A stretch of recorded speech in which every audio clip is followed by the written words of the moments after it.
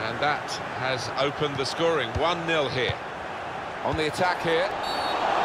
Free kick against Alexandre Lacazette.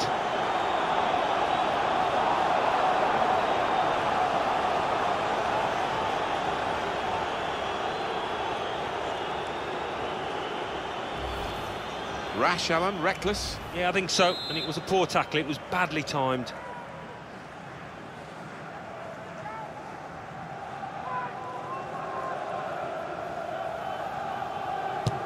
Tried his luck. Oh, that's whistled just off target from the free kick. Yeah, unlucky. Struck it well, and I don't think the keeper would have got across.